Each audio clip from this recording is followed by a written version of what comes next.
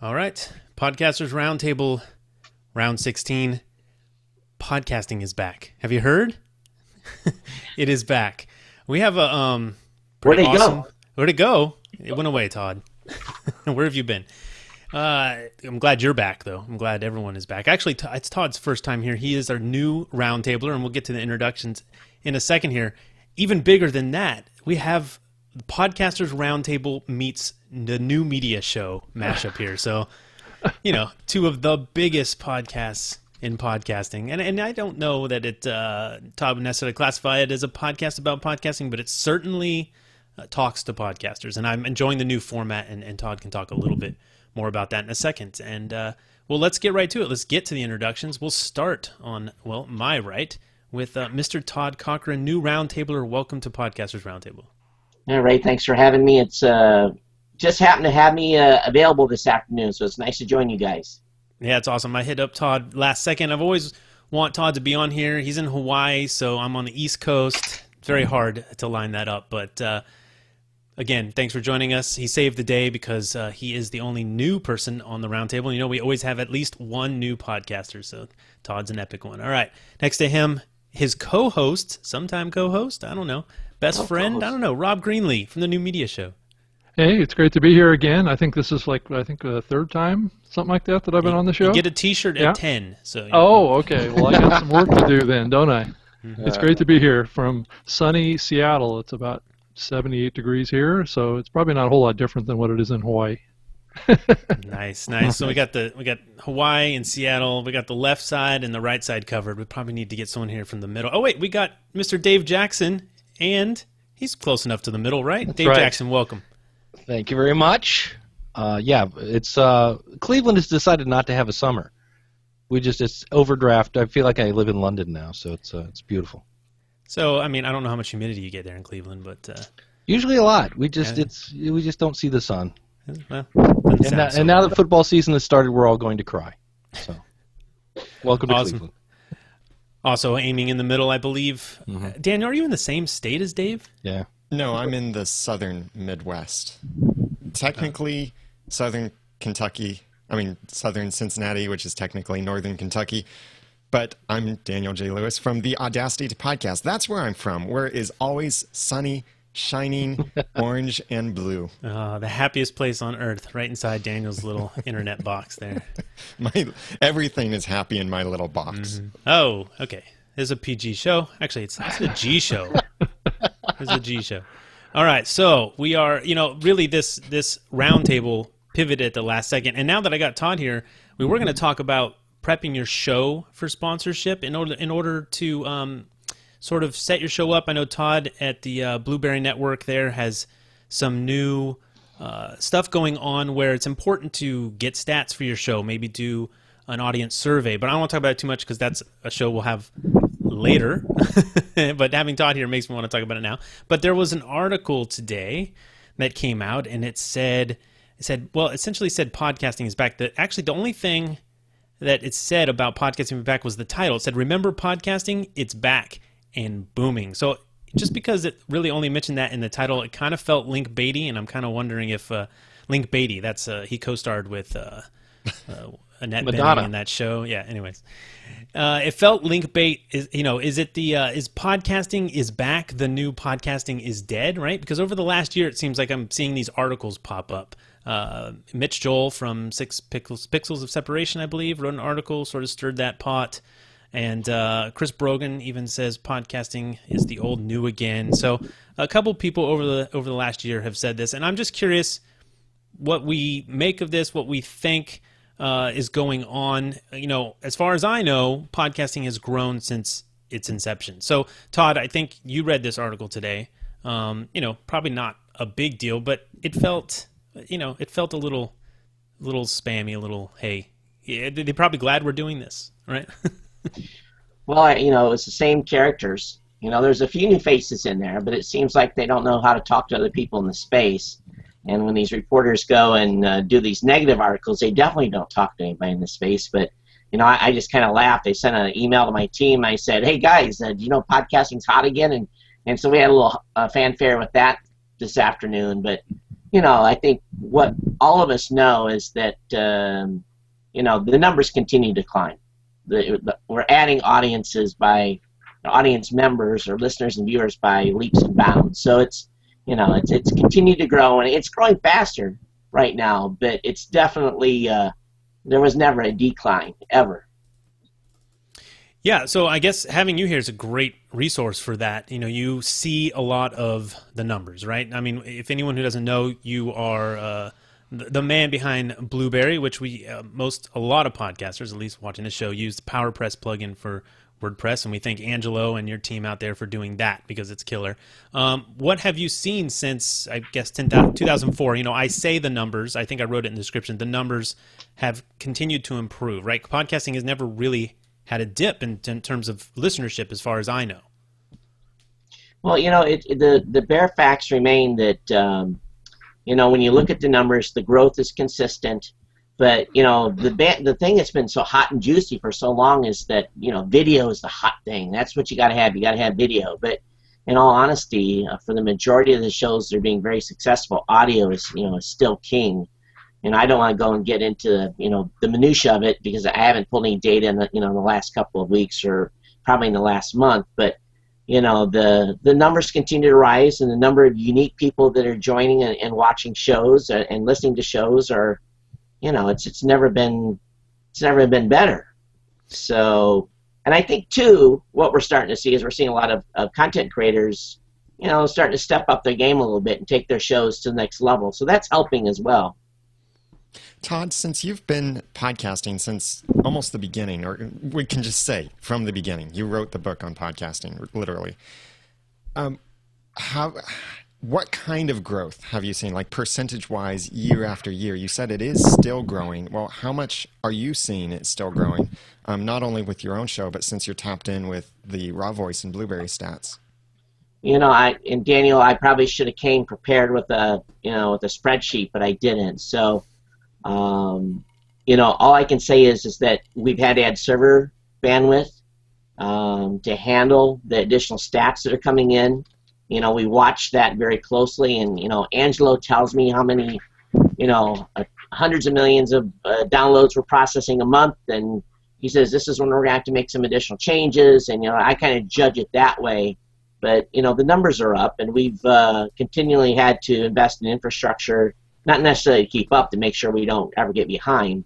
Um, but you know the growth is there. It's just uh, and each show grows differently, you know. And I think the adage of you know we're still seeing shows that are coming on, and you know within a year about 75% of them fail. So we still have this very high burnout rate on shows. That hasn't changed from the beginning, but you got a lot of shows that are they're still they're there that are sticking, you know, and and those that stick are making headway. But I, I don't think you can quantify it from each show. It's each show is a little different.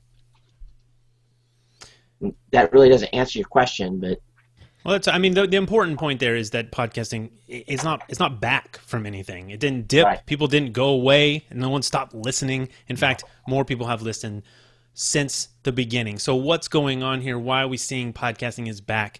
Um, do you think that what's back is the attention on podcasting from the old guard, old media? I mean, is that what's going on? Dave, did you see this article? Do you what what do you think's going on?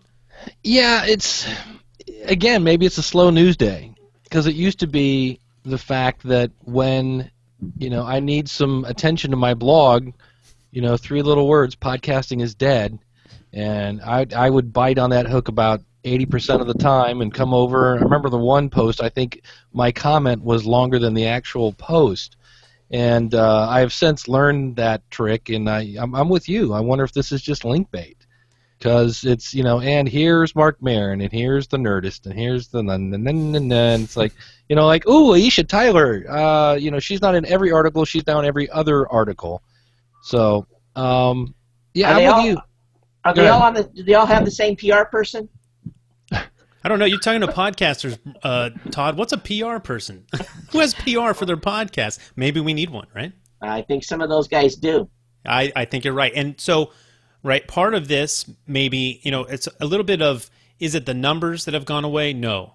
Is it to maybe the perception that the uh, people who you know these big media sources. I mean, this came out in USA Today, right? So a lot of people see this. So have they created this perception that podcasting is going away uh, because the attention, their attention went away, right? In 2005, Word of the Year, and it had all this promise, right? You're gonna get rich if you start a podcast, and then you've got people, you know, and then you've got people saying, hey you can't make money here. You know, Todd, you said that most shows pod fade because people try in seven episodes to be rich. Doesn't happen, which is ridiculous. And they go away, and then the media attention goes away. Says, hey, that medium is cute, but it doesn't work, right? So now we've got celebrities pouring in, right? Again, you said like Aisha Tyler, and I think this.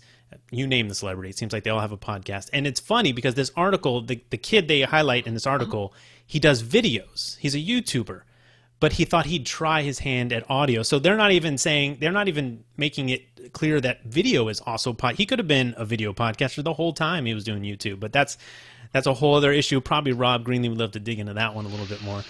But again, so the word of the year in 2005 and the the media attention is coming back over the last year because bigger names are getting involved maybe money is starting to pour into space so is that what's going on is, a, is it a perception that it's back because something else is like going on where you've got more popular people coming in. Daniel, what do you think? Well, yeah, the celebrities are bringing a lot of attention to it and making this, yeah, the new hot thing again because people are hearing, well, these celebrities are joining it. And think about Twitter. What made Twitter really take off? And when we started seeing major followings on Twitter were when celebrities were jumping on and getting millions and hundreds of thousands of mm-hmm. people. I, I, remember like when the first million was hit. I think it was Ashton Kutcher. Um, back then, the celebrities brought the attention, but still, so many people on Twitter. Well, podcasting, I think this is the opportunity for those amateurs to really rise to the top and show that. Your show the, is so amateur hour, by the way. yeah, show that our amateur hour can actually match what these celebrities are doing with PR agents and production crews. But those podcasts that are just starting out, I'm, I am starting to get a little concerned about the starter podcasts of how hard is it going to be for them to get in this game when the game has gotten so much more advanced.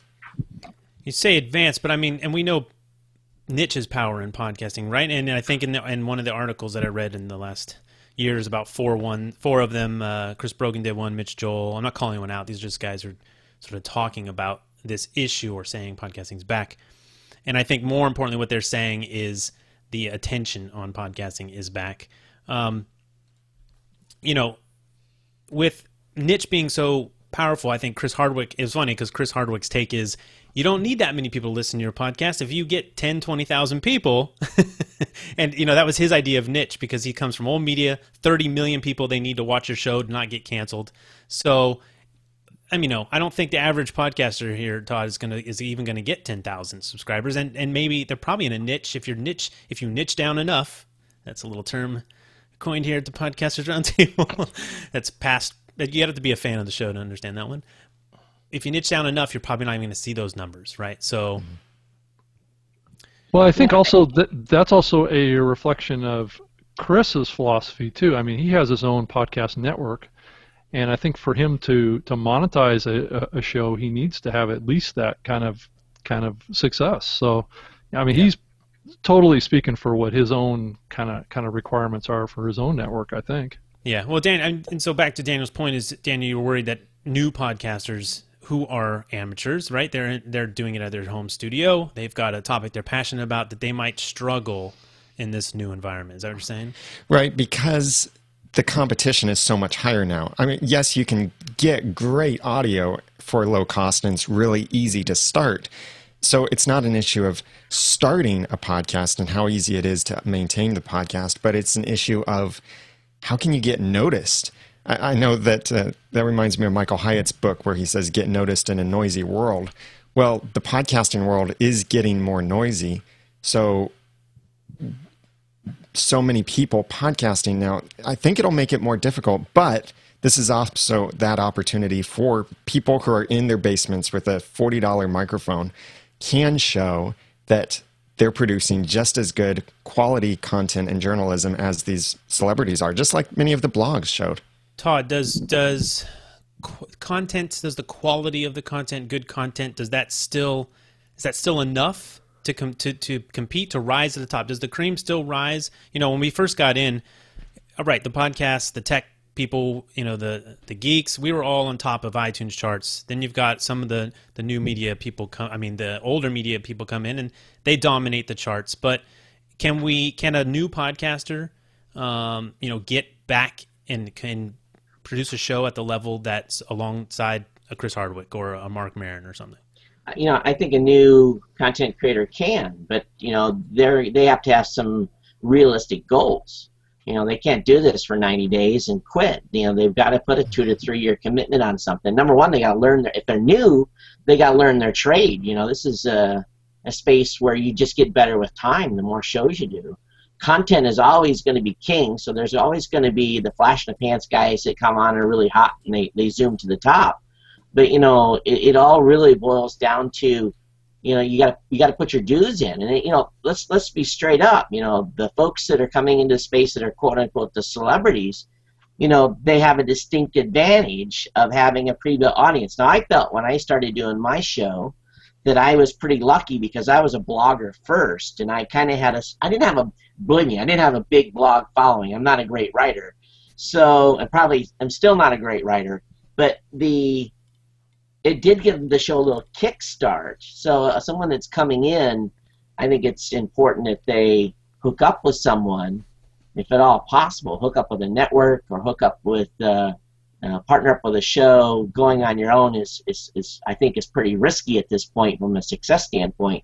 I flew, I really can't say where I was at, but Monday I was uh, not in Hawaii, and I was uh, in a meeting for about four hours with some folks and talking about the space. And uh, I left there feeling like, uh, man, it's it's it's like 2005 again. Now I'm going to tell you, there is some exciting stuff that's happening. You know, there's a lot of people that have kind of uh, started to say, "Whoa, we, we really need to pay attention to this. Let's put some money at it." People that have some different ideas. Um, I think that uh, there's a lot of potential here. Now, we also have to understand that people are going to be looking for ways to make this happen quickly. So they're going to go after celebrities and they're going to go after people that are well known and this, you know, because you can't beat that. You look what you know, look what Leo has done for years. He took, you know, the success he's had on the radio and the success he had on television, mm-hmm. you know, and that was a huge, huge Kickstarter for, you know, and, and don't, let's not, don't get me wrong, uh, Leo's a great entertainer and he's also, you know, a great content creator. So, um, from that aspect, he, uh, you know, he had a, he had a great head start, and you know, and he still, you know, is doing great things. So I think it's critical for new people. They have a chance. They're going to have to connect up with someone um, to really, if, if they don't, that's okay. You can still do it on your own, but there's a lot of lone wolves in the podcasting space.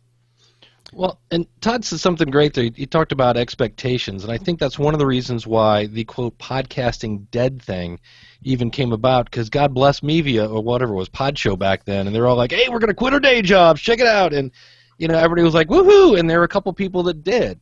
You know, you had uh, Cali Lewis, exactly a couple. Uh, you had Don and Drew. You know, you had a handful of people. And so I came on board, and all of a sudden it was like, oh, I'm wait, I can't quit my day job on that unless I want to eat, you know, rice and beans for the rest of my life. And so, and then Yahoo built the, uh, they Yahoo actually built a directory before iTunes did, and then shortly after iTunes came out, Yahoo said, ah, never mind.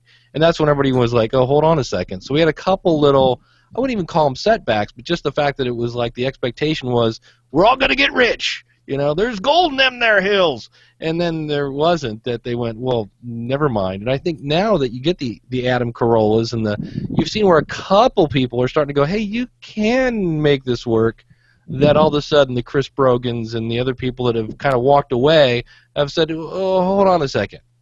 So I think that was part of it. Just the expectations that were set were like completely insane. Chris Brogan, yeah. Chris. Speaking of podcasting, is back. Chris Brogan is back, right? Because he he started off, he was one of the early podcasters, mm-hmm. and, then, mm-hmm. and then he came back. So it must be a reason, right? For him, I think there is money in those hills once again. You know, does um, did podcasting sort of from 2005 when it was the word of the year to maybe last year whenever this boom started right whenever people started noticing did it have a little bit of a credibility issue from the standpoint of how the mass media did the mass media you know we said amateur hour. Steve jobs called it amateur hour so he sort of beat it on the head. And um, the media the, the old media is not paying attention because money's not flowing in. Um, did podcast is podcasting getting more cred as a viable medium? Yeah i think that's what's really really behind this is that we're seeing a a a gradual shift in perception. But i think if you look at the actual article and the kind of um, thinking behind it, um, that's that's a little worrisome from a perception that that people, new people that are getting exposed to podcasting, are, are thinking, well, currently or recently it's been a dead medium, and all of a sudden now it's a cool and hot thing again. So it, it's kind of a thing that cuts both directions against us. I think it doesn't show a lot of a lot of credibility for podcasting in the past, but maybe we're coming into a period now where there is more credibility for for podcasting, and I think it's that credibility is being driven by quality of content and the big celebrities, um, and so I I think that it's probably a good thing that we're starting to see this happen again, um, and I'm I got my fingers crossed that the momentum will continue in perception, and that's what we're talking about. We're not talking about reality here. We're talking about perception and that's that's what hopefully if we can all kind of keep the momentum going to build that credibility again i think that's important. Right. I mean podcasting is dead is a completely negative connotation right? Yep. is dead. Is gone. It sucks. Goodbye. At least here podcasting is back is a positive right? I mean it's it's yep. it's more looking forward instead of saying bye bye so um, you know i know that article also did talk about uh, it said Apple hasn't promoted podcasts since 2005. I don't know if that's true. Todd, would you say that's true? Do you I'd think? Do you feel like that? Uh, what was what is the only thing we've ever heard out of Apple for podcasting? 10 billion subscriptions. We've never heard anything else. 10 billion. Or whatever the number was. oh, I was excited. Todd knows something special. so Breaking they've news. Never, they've never, you know, I, have long been on record that uh, Apple coming into space in 2005 uh, chop the feet out from underneath a lot of people. But you know, let, us just you know let's just be realistic here. Um, things have changed dramatically in the mobile space. Yes. You know, the, the article the, mentions the en- that too. The yeah. entry to you know the barrier to entry to consume there is none. It's yeah. not hard. It's easy now. You know, just click and listen. You don't have to download. You know, you just listen. And, you know, people, those that want to download and sync can do that, but the majority of people are just clicking play. And what are we seeing now? Not only is it easy to consume on a mobile device, but we're seeing a lot of support, right? So Stitcher's getting people in cars. Um, you know, you're on you're on Roku's, right? I mean, so there are it's going to more places. So it's not just on a phone, maybe just the iOS app. You know, and in Apple, I think you know, I think maybe a little resurgence with the iOS app. They broke it out. I don't know if that was uh, better or worse. I think it's good. I think it is definitely better because when even though it doesn't come pre-installed on an iOS device, when you have a new iOS device and you go into the App Store, Apple recommends several Apple-made apps that you should download for your new device. And one of those recommended apps is podcasts. So instead of podcasts being hidden in an app that's already on your phone, well, not it wasn't even in the app, so I take that back. But instead of podcasts being hidden where you couldn't really subscribe, now they're telling you this is one of the top apps that we recommend that you should get as a new Apple iOS user. So I, I think that, yeah, brought a lot more attention to it. And I really wish Apple would share how much of a spike that gave podcasting. Like, how quickly did they approach that 1 billion number because of the iOS app that they released? Any thoughts, Todd? I'm just going to, you know, we look at the stats across all shows, and iOS, whether it be the iPhone, the iPad, whether it be iTunes, they lead. They're, they're, they're always in the top five and very rarely in the top six. But, you know, what it's, what's really changed in space, too, is everyone has a device. And you, and apparently, every you have all of them.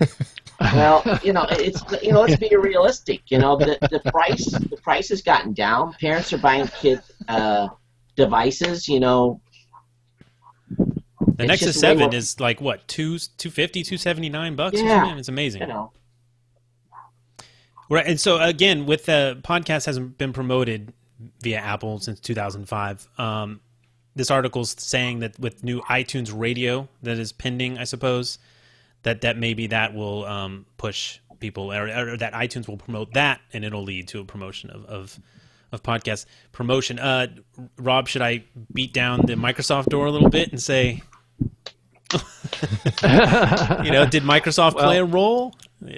Well, I, I mean, one thing I wanted to say uh, today was kind of a sad day for um, those. Um, I know a few people out there that have been avid, long-term followers of Zune. Um, I don't know if you guys all all heard, but the the music and video marketplace in the Zune software is going to get taken down on the 22nd. So, so that means that the Zune software will only have podcasts in it as far as the content offering. What is that? What is wow. Todd? What does that mean for podcasts? I, this is news. Did anyone else hear about this? We're breaking Mm-mm. news here. you know, in, in deference to Rob, yeah, I'm sure it's devastating. It's, uh, but so well, it doesn't here's- here's doesn't what have gotta do. any. Yeah, ahead, it doesn't doesn't have any kind of um, down the line kind of change to the podcast on Windows Phone. That that is untouched, and so is the podcast area. It's just that the the whole music and video piece is no longer going to be there. Which potentially brought in right new podcast listeners. It, it's yeah, it probably did. Maybe. But but really, the truth is is that uh, not too many people were downloading TV shows and movies in the Zune software anyway, and that's one of the one of the big reasons why they're they're shutting it down. But despite despite Rob's best efforts, and he does kick butt over there at Zune, and I think So, what does it say? does Windows that Phone mean- podcast. Does that mean that um, on Windows Phone that music isn't going to be available? No, it's it's still going to be on the phone. It's just uh, well, actually, the whole Zune and Xbox video side has never been on the phone. Okay. So that's a th- that's been a big hole in the platform for a long time. Um, so so this is really going to kind of force people into using the the Xbox uh, video and music apps to add content to their collections, and then they'll be able to play that content in the Zune software, but they won't be able to buy it or rent it in the Zune software.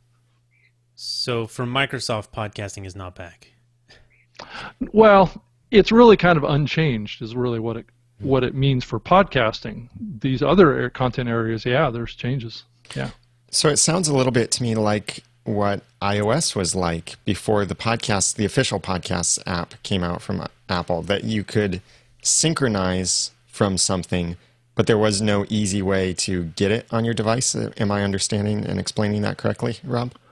No, actually, um, podcasts are on on the phone as well as still still in the Zune software. The the music and video side, there is no experience, a marketplace experience on Windows Phone for for movies and TV, and but there is a marketplace experience on Windows Phone for Xbox Music. Hmm. So so that's what's happening, and really there is no change for podcasting. It's just that it could mean that fewer people are going to be using the Zune software. Is really, really what the impact of this could be. Did did podcasting confuse a lot of people? Right, like Todd, you're talking about you had to go, you had to download it. We always talk about this issue that this sort of barrier to uh, getting podcasts started off in the beginning is maybe uh, something that was keeping people from or from mass Yeah. adoption. You can't just dial it in on the radio, and we've seen that's getting easier. But we hear Rob talking. Um, you know, things changed. Our space is still so young, right? What, what is it? We can't even drive yet, right? Podcasting can't drive.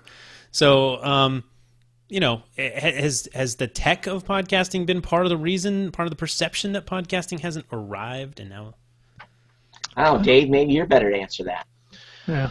Yeah, I, I would think because I know, you know, at the beginning, it's like if you were able to subscribe to a podcast, and everybody had an iPod, of course, back then. There was no iPhone back in the day, and uh, you know, once you got it to subscribe and you downloaded your podcast, and you know, heaven help you if you went on vacation because you know three days into it, it's like, oh, I got to go back home and sync my iPod back up because I'm out of stuff. And so trying to get people to subscribe was just, you know, a nightmare. And then if they didn't, you know, if if somebody didn't have an iTunes button on their website, you had to go, okay, here's what I want you to do. Right click on the RSS button. What's an RSS button? It's the orange thing with the strippy stripes. And they're like, the what? Just the orange button. Right click on it and choose copy link. Okay, but what am I copying? Trust me, you're copying something. Okay, Yeah. now go into iTunes, go into advanced, and you'll have this blank box. Just right click on that. Why am I right clicking on it? It's empty. Just trust me. Right click on it and choose paste. So, So did we? So we, did we lose a lot of people who tried podcasting and said, "I can't do this"? Right? Are they back? It could be. I think so. I know. Uh, I've been just doing random polls when I when I get a class of like 20 people or 30 people when I'm teaching software. I did one yesterday, and I'm like, how many people listen to a podcast? Because I was doing it online, so I had a, a polling thing online, and it was uh, 82%. It said yes, I listen to podcasts, and they were all in the Netherlands. It was kind of weird. I was teaching a class overseas, um, but that was really impressive. Because I, remember the days when I, you know, I'd say I do a podcast, and they're like, a, a pod what? and of course the old I don't own an iPod, and you know I, I don't have to go through that, thankfully, as much as I have to. What do, what do you think about all of these streaming music apps and station apps adding podcasts, like TuneIn Radio adding podcasts, um, iHeartRadio now adding podcasts? Uh, there are there's another podcast app that recently launched, but these major apps that people have already been using for their music, and there's this possibility of iTunes Radio, although that will probably only be music, but do you think that's actually bringing more focus to podcasts? Can't help, can't hurt. Yeah, I think. I, Yeah, that's. Yeah, Todd, go ahead. you, you know, it's there was a couple of things that were done recently. I kind of thought were kind of gimmicky, but at this point, I think any place you get distribution is good. You know, I've always, you know, you guys know me. I think distribution is king. You know, is the more place you can find me or hear me, or that's you know that's money in the bank. So bring it on. I want to see. I want to be everywhere. I know you guys do too. So if this is if if if by podcasting is back, if what we're really saying is uh, the attention's back, right? So regardless, we've been we've been cranking away, producing great content, and uh, maybe some more people are going to start giving us the attention they gave us in 2005, and that sounds like good news to me, right? I always say you're going to need, you know, in the beginning. I'd go to a meeting of podcasters, and if you started talking about money, it was a, a schism, a, you know, right down the middle of the room. Right. You had the half that hated you because that's in, and I get it. I get it. I, what it was born out of was just pure love for, for being able to do this, right? The democratization of the media, right? We can all sort of get our voice out there, and you start talking, and people got over that, right? They understood this is hard work, right? I mean, you get paid in a lot of ways, but money sure helps get the mic turned on five years down the road, right? And so, um, you know, now is you know, Todd, do you think with the attention, the spotlight, or, or, or celebrities coming in, is the money going to start showing up? you know, there's there's two things we've been overcoming. Uh, we've had some players in the space that have abused the media buyers. Mm. Um, I guess for a better word to say is um, the ROI wasn't where they thought it would be, and media buyers know where their ROI is supposed to be. So that's one of the reasons we've done some things that we've done recently on the business side is we're trying to Are you saying like like terrible CPMS? What do you mean by I'm talking about maybe some people are cooking the books a little bit. so so the advertiser came to a podcast or whatever it was, put in a space, didn't get the return because the, the maybe the media the content producer was saying I'm getting X amount of downloads. I mean, you're saying they're cooking the books. Uh, some people could even be victim of bad stats. Who knows, right? But I do think a lot of people, out of almost not embarrassment, uh, some people just want to say, "Yeah, I get this many people listening." When they only get hundred, and they say they get a thousand. Yeah. Um, Monthly downloads. That's where they go. They That's it. quote their monthly downloads. And, and, and I don't, you know, and I don't, uh, you know, it happens here on a weekly basis. I get a call from someone, they want to be on the network, they want to be on an ad buy, they give me a number, I say, okay, fine, get on the stats, and it ends up being a different number, and I, it, I just, you know, at this point in time, I trust but verify, and I don't, and I understand completely. You know, everyone wants to be successful. I can't blame them for wanting to be successful. But the money left. Any money that tried, did they leave? Money's still here. Money's being there's more players, so the money's being spread around a lot more. There's there's plenty of money being spent. Don't get me wrong, but uh, I think what you're going to see is that as this picks up, we're going to start seeing more media buyers come into the space. If the popularity, and I'm going to tell you, we want those celebrities. Yeah. We want all those big shots. We want those guys. We welcome them with open arms because if you, if you care about the space, you do want those, right? I mean, You want you, you need the Oprahs to bring the masses. I mean, it, it really depends on what you're looking for, right? Some Yeah. people they want to do this from their studio and talk about the the favorite their their most favorite topic, and they don't care if 50 people listen. They're just doing it for the love. But Right. in order, if you do care about the success of the medium, if you love putting your voice out there and having continue to do Yep. that successfully and reaching a level that you know you can be up in the iTunes charts or the Windows Phone charts alongside an NPR or something. We got it. We need we need big time names. Yeah, and, and and they will they will help bring the money. And the radio guys are starting to understand the space more than the digital guys are, so that's helping us as well. You know, in the first five years, I never dealt with a radio guy. Never. I mean, I never had a radio buyer I talked to. And I don't want to get this to a money discussion, but now we're talking to radio buyers, and they fully understand it. Um, they're learning, but it's it's it's much better than what it was. What do you mean? You're talking to radio. How does that?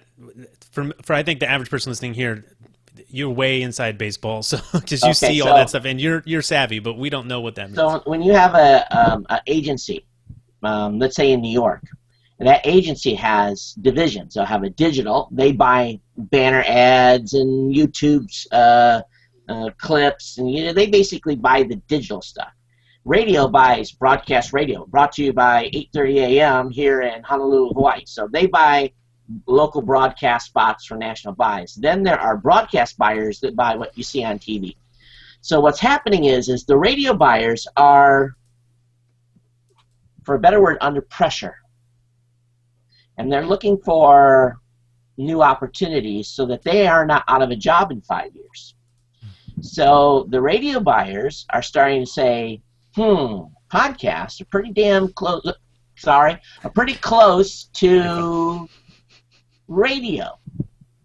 So I think the demise of and the, the the increase of being able to click on anything in our phones is driving people to this and not what's in their car radio. So that's going to help us. Um, is never going to go away. It's a local market. It's the drive time market's never going to go away. But we're going to get helped by those radio buyers that want to still have a paycheck. Well, the the coolest line on your last episode when you were interviewing the guy from Radio One, I loved it. I was like, all right, I got to play that clip. As the guy says, if you take a product, the right product matched with the right podcast audience will outperform a radio audience hands down. And I was like, amen, brother, preach it. But the key is there is you have to have the right product and the right audience. It's you, Right. you're not going to sell knitting needles to the heavy metal guys. It's just not going to work. It all comes back to money, guys. I mean, I hate to tell you this, but the money is going to continue to help this space grow.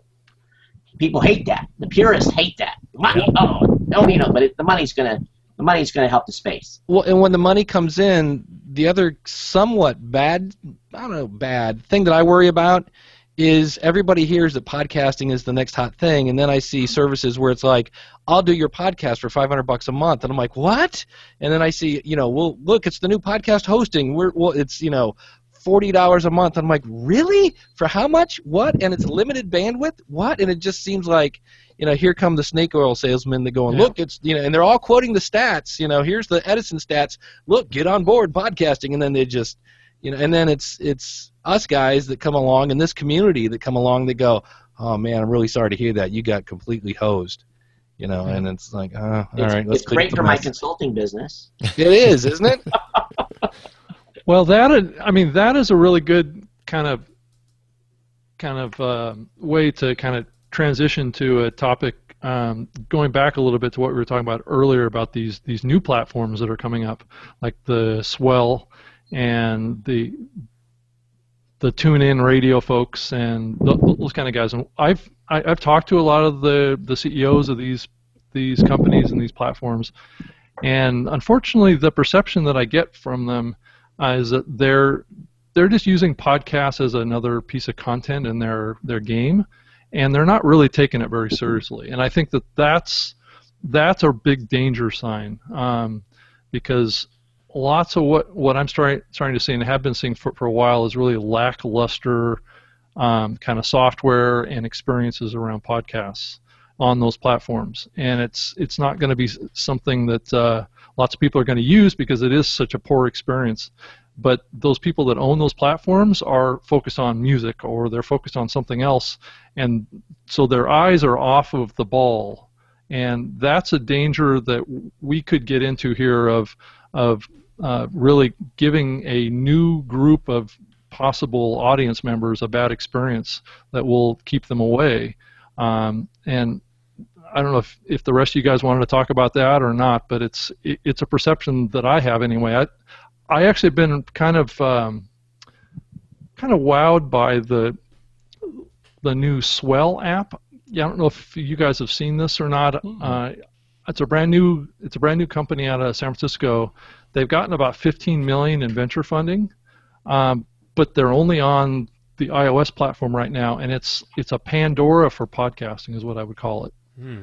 So that, their that's their platform discovery yeah, is a problem, right? Still, yeah, right. And their their platform is built around the whole concept of learning about what you like in content. Look at look at Daniel and Dave. I think they're actually looking up on their phones. Yeah, I'm yeah. like I'm on it. I'm there too. Yeah. Everyone's there. Everyone's there. Now, so Rob, I'm sorry. Go ahead. Keep going, Rob. I just thought that was funny. Yeah. So it was just um, that. Yeah, that new kind of concept Geeks. that that this company could bring to the table here is to help people discover content um, in a much more personalized way, more like what the success of Pandora has been, where where the software learns from what you listen to and delivers more of that to you. Right. Um, so anyway, that's all I was really going to say about I, it. I think that's a big deal because I think as we talk about the money and the celebrities, and I've seen a little bit in the chat room, the average podcaster starts to, to fear, um, you know, and there is only so many hours in the day, so much content someone can consume, and yeah. that the, they, these nice you know niche shows, these uh, producing amazing content for years now, may somehow get buried, or even the money won't won't go to those shows, right? Because they can't compete. They don't have ad buyers or uh, mm-hmm. the massive numbers. But Discovery uh, is still you know a huge issue, and that's I, I love Pandora because it does I don't have to do anything. It just finds stuff for me, and then I can just reject it when it's gone. So I hope it has that functionality. That would be a great way. I mean, yep. to find a podcast these days, most of the time I get it because someone else says it on their show, right? They'll recommend. That's how I'm getting most of my new discoveries. So I don't know what anyone else. What do you guys think about that? That uh, it's definitely something we need. I think. Absolutely, because it's that I'm with you. I, I occasionally will go in to iTunes or Stitcher simply because they have people that listen to this also listen to this. Yeah. Mm-hmm. And that's why I find out a lot. Or I'll hear somebody interviewed on another show, and I'm like, oh, they have a podcast. Oh, cool. And, and Rob, back more back to your issue, uh, you know, where you said that a lot of sort of getting in maybe for the wrong reasons, um, or the way they're treating it. Uh, is 2017 high, uh, headline going to be podcasting is back? or, or, yeah, exactly. We're worried about ruining, yeah. Uh, right? Scaring away more people well, and I think it's it's one of those things that it really gets back, like Todd was saying, it gets back to money. I mean, money is going to help all this stuff. Um, the more money that can be flow into this this industry or this platform or all the platforms, the more likely it is that those platforms are going to improve themselves to create better user experiences. Right, and and a celebrity, you know, Alan Newsom in the chat room says if a celebrity does a show about the Andy Griffith show, it can only help draw more people to listen to Andy Griffith podcast, so it would help him more, right? So, so he's exciting, and he's excited. So, um, Todd, with you know, I think again that the uh, I think I've seen it in the chat room a couple times. People are saying, "Well, there's just no way that you know the real power of podcasting, which is niche and, and pro- providing content that you're not going to find on regular TV or radio." Um, you know they don't think they're going to get a piece of that pie. Obviously, it's not. I think a network is a lot of that money money is going to flow to a network. So if you if you're interested in that, and and maybe the gold rush that is coming to podcasting because people are realizing how awesome it is. Uh, maybe a network is the way to go if you're looking for a piece of that sort of ad revenue. You know, the, the network model, you know, well, heck, you know, I think I launched the first network, the 1st tech network. And, you know, I'll, I'll, be honest with you, we have been very successful with uh, the advertising that network. Um, millions of dollars have come in to that group um, since 2005. Um, and it's because they, you know, the network team members team up, and but you know, it's really tough. I, I you know, it's like herding cats running a network. So if you are going to hook up with someone, and I recommend people do, you know, hook up with someone number one you can trust, number two that you can get along with, and understand that someone kind of has to be the boss, but at the same time, you want to keep your creative independence so that you can create content uh, but I think it's really, you know, if you're a comedian, you got to get hooked up with some other comedians. That's how you're going to build, and, and that's probably your quickest route to success for making money. Um, Works on YouTube. Yeah. You know, they, they encourage a lot of. In fact, they they rank you better, or or maybe they give you more attention when you team up with other YouTube content creators. So it's a model they've definitely promoted to link up but you know, in, in, in all honesty, you know, what we have to continue to do is we have to continue to build audience as podcasters. We have to continue to promote our audiences to tell other people about this space. Uh, we have to build volume. Uh, you know, and that means we're, you know, we want 150 to 200 million people tuning in to three or four podcasts every month. And then once we hit that level, um, those are real numbers. That's starting to compete with broadcast uh, radio and television, and that's when the dollars will come. Now, if you're not worried about the dollars, create on, keep creating content. What you know? What is your experience? You, have talked about the money that's flowed into podcasting already. So there are companies at who have money who get it, right? Right. What what is talking to those guys? What has been their experience? They, I'm sure some of these probably were in uh, maybe in your network in the beginning, and they're probably still there, right? I think maybe uh, you know you always hear the the same ones, Netflix and GoDaddy, right? But they obviously see something. Yeah, well, I, you know, I'll be honest with you. If they hadn't been go, if GoDaddy and uh, Citrix and a few other companies had not been in the space, uh, we would not have survived. My company would not have survived. We couldn't have done it. Um, so for for and, them, podcasting is not back. It's always been a great place to be. Sounds yeah, and you know, and and they're always looking. You know, don't get me wrong. We have to make the numbers, so they're always looking to optimize ad buys, and they got stricter on the rules. You know, there's different things that are going on, but don't get me wrong. It's they understand the space, and you know, I think they laugh all the way to the bank. Uh, they wouldn't dump the type of dollars they do each month if they weren't having results. You, uh, companies are not prone to lose money on advertising. They just don't do it. And that's it's kind of the irony, right? For the companies that do, are they actually?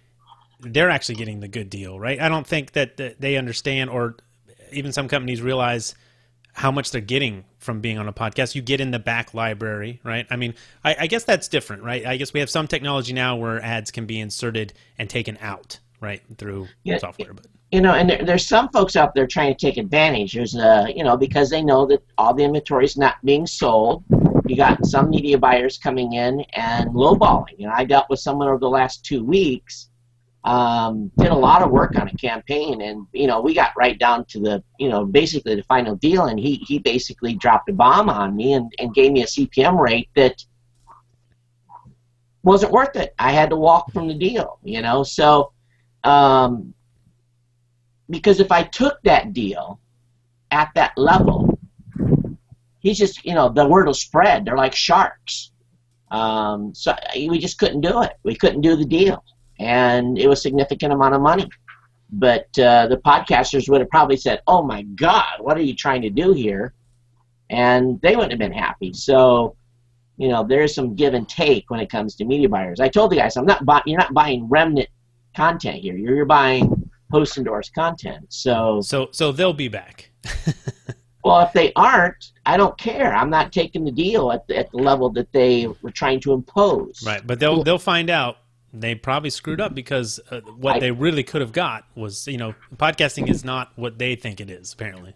Well, and and I appreciate that just as a podcaster because I realize it's hard to leave money on the table, Oh, it's hard. And uh, I appreciate that because we all benefit from that by not just saying, "Well, okay, it's the only thing I can get." Because, like you said, you're setting a really bad precedent there. So uh, I appreciate that. You, you know, and it, it's it's a challenge too because you want to keep the content creators, you want uh, revenue rolling into them. Right. You know, and you, and you don't want to come in and say I don't have nothing for you this quarter. I mean, that's the worst thing I want to do. But and it's just the realities of it. You know, and you know, our business has changed a little bit over the past couple of years too. But it's uh, I think it's been a good change. Well, we're getting we're getting down to the about the final ten minutes. Um, Daniel, you saying anything? You've been watching the chat room. I see you you typing in there. What's a general opinion? You know, with, with this whole podcasting is back thing. I mean, obviously, we're not buying into that. It's probably it's probably a little bit link bait. Um, it, what they're really talking about is the attention is probably back on podcasting. Uh, this is typical podcasting is dead type stuff. But what has the chat room been saying? Anything? Well, the biggest thing I'm seeing in the chat room is that they are uh, pointing out how that just like podcasting is rising again, well, many podcasts are going to fall again. For every, you could almost say that for every podcast that starts, another one pod fades, or maybe a couple pod fade. So, yeah, you're going to have the come and go of the podcasts, and it really depends on what the podcaster wants from his podcast. Are they doing this as a hobby? In which case, all the more to it. I mean, look at how many people have a hobby that they do faithfully for their entire lives and pour money into it, and they have absolutely no expectation of getting famous, getting money from it. They just enjoy it. And a lot of people are doing that with podcasting, and that's great. I think the the podcasting is back idea might make more people think, oh, now I can make money with my poorly presented, cheap content. But then again, this might also give more people the inspiration of, wow, 1 billion subscriptions. What if I just had a tenth of that? And this is the opportunity that uh, to really pull the trigger and put something great out there. And greatness does not come in dollars, it comes from people. That might be my closing statement right there. I was I was just wondering who who on this panel is going to be the first to go make an infomercial that I click on at two in the morning and say, "Want to start a podcast?" It's easy. I'm Five hundred dollars a month. I'm gonna see Dave on TV tomorrow. Public a- it's public access, but he's gonna be on TV. You want to start a podcast? I'm Dave Jackson. That's right. Let me tell you about $29.95. podcasting. Three something to sell. Order now, and we'll throw in three Ginsu knives. which you could use to stab yourself while you're writing show notes. Sorry, I, I See, hate show that's a service. You want to make money in podcasting? There you go, right there. Start a show notes service. You will make millions because we all hate writing show notes. I need a cheap transcription service, Todd. Is that ever going to happen? It could, Isn't Google going to do this for me? Come on, Google. but then everybody will be able to do it, so there'll be no strategic advantage. hmm I just, yeah, it's true. I, I mean, no juice off it, but it would sure make my blog look a lot better. They don't want to see your, uh, you know, they if you saw a transcript of this show and put it in a blog post, no. It, What, it, what are you trying to say, wouldn't be good. Todd? What are you trying to say? Yeah, transcriptions are not good for show notes. But um, I want to come back to the iTunes 1 billion announcement. And I think that's awesome for Apple to announce that because they don't tend to put numbers on things unless they're proud of it and they think it's something worth telling people. Sure, sometimes their numbers are a little bit weird, but uh, still 1 billion subscriptions how they track that how that's measured i don't know but itunes represents what 30% 30 to 40% of the podcast market now Well, I would say it's the iOS ecosphere. yeah yeah the, the apple podcasting ecosphere itunes and ios But you know, it's the you know, I think more today the phones and the iPads and the you know, iTunes still has a certain amount to it, but Yeah, so they're they're tracking from that both the podcast app and iTunes, which are I think some of the easiest ways to get podcasts for free without purchasing some uh, special app for your device, uh, iOS device. But a billion, and that's just part of the overall market. So that's massive. That there are billions, probably 3 billion podcast subscriptions accounted for out there. Many have come and gone, of course. But I think, of course, that number is only going to continue growing. But people are going to start consuming more content from a podcast, I think, because radio stations and uh, regular old media style stations are starting to tell people if you miss this, then you can get it in our podcast. And every ESPN show it seems Yeah. like it has a podcast, and they win awards.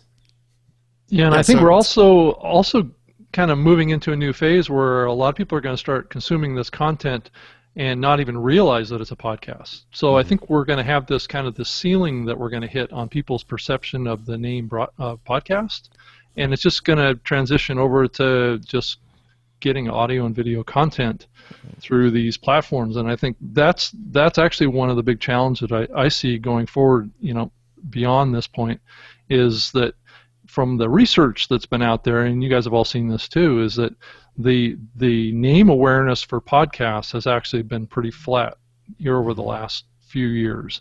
And i think that's a reflection of what's happening in the market. I think that the perception of the word podcast and what podcasts represent to people is not really going to grow grow much, but but the content will continue to grow, and I think that's what's going to be a probably one of our biggest challenges. I think is to somehow make that leap. I don't know what you guys think about that, but I think I think well, I think you should go back a couple episodes and, and put some comments into that. We we talked a little bit about that. Our, our controversial uh, Yeah. episode where uh, Yeah, about you were, what you were called. Yeah, Yeah. yeah. So Yeah. so, but um, you know, I think a lot of us use. I don't think Todd. I don't know how much he's used the word podcast. I hear him say content creator, right? Online content creator. A lot of us use the word show interchangeably. I certainly do. Um, and I think. Uh, Rob, that a lot of people, I, we've already hit that point where a lot of people probably do listen to content that they don't realize they're listening to a podcast, right? So those Yep. surveys that say, have you listened to a podcast, they may even know. Yeah. Um, I don't know if anyone else have feelings without getting into total discussion about the Yeah. word podcast. Well, I could see with with you know services like iHeartRadio. You know, if somebody comes across my buddy Mike Russell, well, he's been on the Podcasters Roundtable. It's on iHeartRadio now with Music Radio Creative, and so there could be people listening to that, and they have no idea that they're actually listening to what originally was a quote mm-hmm. podcast. It's just streaming content. Well, look at video. Video still, even that article right there, they said it is kid was doing video and he's he's going to try podcasting, right? He could have been a video podcast the whole time. So video doesn't get. And I'm a little defensive. I started off as a video podcaster, but it doesn't get the love that audio does or the recognition. Some people don't realize video is a podcast, and of course. I, I, I announced on I think the last episode that we are going to be the uh, the very first number one iTunes PDF only podcast. So many ways to go with this. I'm taking the EPUB corner. EPUB. Oh, all right. I'm going to win an award. That better be at the uh, podcast awards, Todd. That's right. Best PDF podcast. Okay, you buy the trophy. We'll put it up as a category. Oh, I'll buy a trophy for myself. Don't worry. I need to. If you have not been on the show before and you haven't, Daniel waves his trophy like it's a conch, okay, to speak. And there it is. I don't think we've seen it for an episode. No, But I missed Ray's it. Ray's gonna have his own trophy he waves. So that's a little promo too, right? The podcast awards is held Yeah. at New Media Expo. I think everybody here is going to be at the New Media Expo uh, in And uh, Las. Vegas and speaking. That's amazing. So come on out, and and I'm hoping that we'll have a live podcasters roundtable, uh, and that'll be a chance to really grab some some other big names and. Uh, I hope hope we see you there. So that's a good chance to come out and see us. There's going to be the podcast awards. Uh, maybe Daniel will win two this year. Who knows? no, we can't have that. No, his head won't fit in the screen anymore if we do that. well, again, wrapping up, I think. Um, is it? I guess maybe the moral of the story is maybe the attention is back. Maybe that's what's back in podcasting. And Yep. uh, you know, if that's the case, uh, you know, Todd, the money. Uh, hopefully, the money shows up. Right? And Todd's showing us the money is here, but more money's going to show up, and podcasting is just going to become, you know, it's just going to become that more viable, and maybe some of us can actually uh, make a, a little bit of a career out of it if we haven't already. But um, you know, Todd, I know you had an announcement there with uh, Blubrry or Raw Voice. You guys have the verified stat. So if podcasting is, if the attention is back and the money's coming, tell us quickly what verified stats are. What's the difference and why we'd want them? you know, basically, uh, Raw Voice certified. The announcement we made on that is uh, really a, cumul- a, a combination of, I guess I don't know if that's the right word here, destroying the English language. Basically, eight years of work in knowing, looking at data, and we got to a certain point with our corporate customers where we felt so good with the data that we felt that we would be able to go out and basically say, you know, we're going to give you a certification. We're going to put the company behind the numbers. If you need to have a media buyer validate it, uh, media buyer have an audit, uh, you need a someone's going to buy your show. You know, there's all these things that go in and verifying numbers, and and we're actually going to have a, a confirmation system built where when you get your report, there'll be a little thing on the bottom with a little code, and the people will actually be able, that person you hand that report to will be able to validate that that report is is the real deal. Um, and again, it was largely driven by our corporate customers saying, "Hey, we want you to certify our stats every month, put the stamp of approval on, and say this is the this is the numbers we're standing behind." Um, we're talking with a lot of networks, a lot of folks that want to come up on the system. Um, we have some additional steps. We're actually going to go through what we hope is a, a third, another, like someone's going to verify our data. Mm-hmm. So we're going to actually reach out to another company, and, and hopefully they can come back and give us this uh, a special stamp of approval that they have, and that will help to, you know, again solidify our, our spot in the space of having good data. And, and that's really what it's all about too. Is we want to make sure that um, moving forward there's an equal playing field for all parties, and uh, media buyers are even talking to us as well. So it's kind of it's it's kind of a cool time for us. Yeah, we, we talked. We mentioned about inflated numbers and that maybe it scared some people away because they didn't get the return that they were expecting. So um, any podcaster could have these stats and feel fairly confident that these are the actual numbers they're getting, right? So maybe maybe a first step in if you're starting to think about how am I going to get maybe a piece of the pie here's a good first step. And you guys have a free stats to start with. Right. If, you know, people uh, yeah. the show always want to start off on free, and that's totally understandable. So you have free stats. You guys can get over to uh, to Blubrry and get that. So awesome. Um, go ahead, Todd. And, and on the commercial side, we've got commercial stats for the folks at RawVoice too. For those that don't want to deal with the terms of service at Blubrry. So, hmm. um, but what you know, what was what's what's what about what did I miss? What's the negative there? Oh, there's no negative. It's just, you know, example. I, you know, if you had a network and you came to me and said, I got relationships with some of the same advertisers you do, mm-hmm. there's a conflict of interest there if they become a Blubrry customer. So we put them on the RawVoice side, and that's the commercial offering. So there's, we, it's basically a separation of church and state. Gotcha. Sounds good. Uh, anybody else? Podcasting is back. I'm glad the attention is is you know if anything if, if maybe the link bait that kind of sucks, but if the attention is here, I'm I guess I'm excited. One of the groups mm-hmm. of people that I think really need to recognize this more are actually social media people. Uh, it, that sounds so ironic to say that, but um, last year at, or earlier this year at New Media Expo 2013, I spoke with I think the editor of Social Media Magazine and talked about Monthly, getting some podcasting content in there. Mm. And his response was basically, well, I don't really see podcasting as social media. And I was just at a conference, a social media conference. I submitted a session to speak on podcasting, and the session wasn't approved. And I emailed the person later and I said, Do you have anybody talking about podcasting? This is a social media conference. Where's someone talking about podcasting? And still, his response was kind of similar of, eh, it's podcasting. This is social media. We don't want to talk about podcasting. so I think the social media people, social media managers, uh, just anyone working with social media needs to recognize that podcasting is this huge connection for social media. Yeah, I think uh, similar here. We have um, in DC, we have uh, well, they have a social media week DC, and there was zilch for podcasting. Uh, and I said, hey, you guys, this social media, someone should be talking about podcasting. So I went and presented, I think, on their first podcasting related presentation. So I get what you're saying here too. And and DC, I kind of see as this. Uh, this early San Francisco or San Francisco maybe 10, 15 years ago, where it's a cool little tech scene building up here. So uh, I'm I'm fortunately or unfortunately moving back to California, uh, which I'm excited about in a couple weeks here. So I won't be here to push the DC, but hopefully, maybe someone else will carry the torch. Yeah, also I wanted to mention too that I've been seeing an upswing in focus on podcasting festivals around the country too. There's one one going on in New York and one in L.A. Hmm. Uh, and Not I think it's in a No, no, it's not podcast. It's a podcast festival. So it'll be like a, Festival. um, you know, like a series of podcasts that are up on stage that, that the event sells tickets to, Hmm. right? Huh. So it's kind of like a comedy festival, but it would just be a it'd be a podcast festival. Mhm. So I've been doing some planning here in the Seattle area, trying trying to pull together a podcast festival in Seattle. Uh, been been speaking with folks that are involved in the comedy side and speaking with people that are on the kind of on the radio side, trying to bring those worlds together a little bit and create a you know a podcast festival of sorts. Um, the whole concept is still coming together, but I know that there's like three or four of them going on around the country right now um, that are it seems like are fairly successful. You're part of the world there. There in Seattle. Chris uh, Chris Pirillo had the uh, first. Uh, what what was the con he had? It's a YouTube con. The or vlogger something. vlogger what? con. Vlogger Fair. Vlogger fair. Oh, right? The vloggers. Yeah, festival for vloggers, right? So something Yeah, like was- that.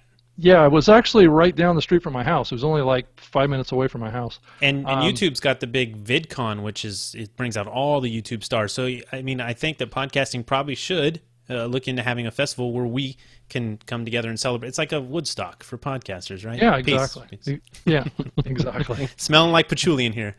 All right. Well, we- should probably work our way out of here. I just want to have everyone uh, again tell us where we can find your awesome podcast, and uh, I think everyone here has a show. That is for sure. We have we have like shows and then shows on top of shows, right? Everyone's got their own podcast. A couple people have podcasts together, so lots of cool things. Again, thank you guys so much uh, for coming on. Uh, Daniel J down there on the uh, on the far left. See us at it. Get. Get us out of here. I'm Daniel J. Lewis from the Audacity to Podcast.com, the number or the awarded number one tech show in 2012. Play it up. Get it while you can. That's right. Uh, I'm Dave Jackson. You can find me at schoolofpodcasting.com and learn to podcast on Twitter. Awesome. Ray Ortega, podcastersroundtable.com. Go check it out.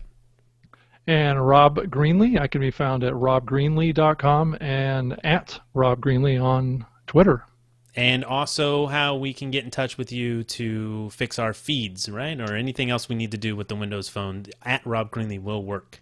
Well, yes, that, or you can send me an email to podcasts, and that's with an S, at Microsoft.com, and I'd be happy to add your show if you don't happen to have it in the catalog. Or, like Ray said, if you have a problem or you need to change your cover art or something like that, I can help out with all those things. Awesome. And as podcasters, we thank Rob for doing that for, through all the years. Uh, you, you can't exactly get that kind of service at, at Apple. Although I will say, uh, over the last maybe year, there is podcast at apple.com. That email works now. I have gotten response. So, but Rob, it's nothing like what Rob gives us. So Yeah. thanks again, Rob. And finally, our new guys. round, our new roundtabler, Todd Cochrane. You can check me out at uh, geeknewscentral.com for my tech show that's done every Monday and Thursday night. And then, uh, of course, we want you to check out the new media show. We do it live uh, every uh, Saturday or sometimes Sunday, usually at 9 a.m. Uh, uh, Pacific Standard Time. So uh, you can find that at newmediashow.com as well. You can follow me on Twitter at Geek News. And and when he says we, if I didn't make it clear, that's Rob and Todd do that Yep. show, and they get heavy hitters, right? I love the show.